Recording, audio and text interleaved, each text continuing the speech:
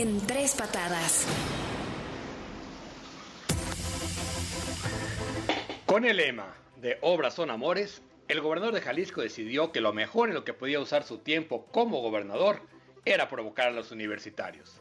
Ir de plantel en plantel a inaugurar obras, la mayoría menores, para mostrar al mundo que él sí apoya a la UDG. El viernes sucedió lo que tenía que suceder.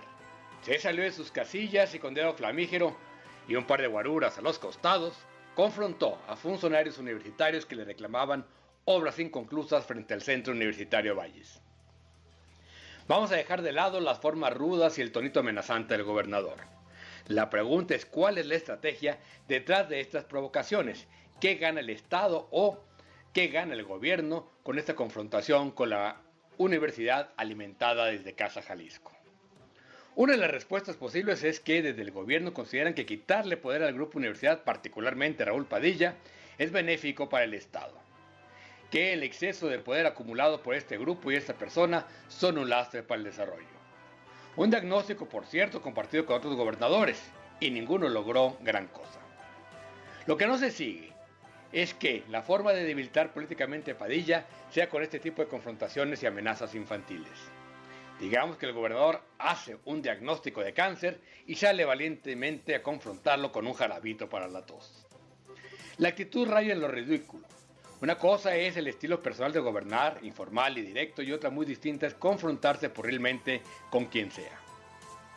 Ni el gobernador, ni el gobierno gana nada con un video como el que circuló profusamente este fin de semana.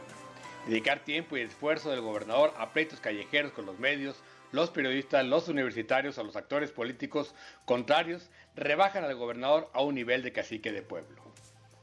Como el común de los mortales, las obras públicas las hace, para el común de los mortales, perdón, las obras públicas las hace una sola gran entidad llamada gobierno.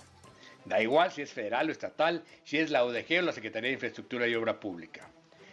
Esto solo le importa a los egos confundidos de los gobernantes que creen tener la capacidad de decidir cómo invertir el presupuesto y que eso equivale a modificar la realidad. Pero volviendo a la pregunta inicial, ¿cuál es la estrategia? ¿De verdad el gobernador no tiene nada mejor que hacer que ir a cucar universitarios? ¿Por qué no?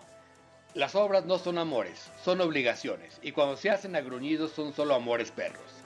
Aunque el gobernador Alfaro no le guste, los universitarios, como cualquier otro ciudadano, tienen todo el derecho de reclamarle que las cosas que se hacen con nuestro dinero se hagan bien, en tiempo y forma.